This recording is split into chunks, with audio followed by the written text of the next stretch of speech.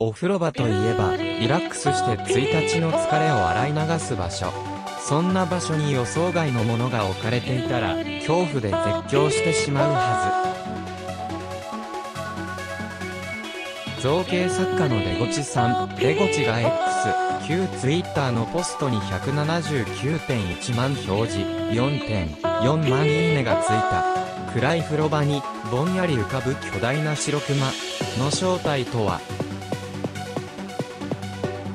特に、すんごい、怒られたという当人に話を聞いた。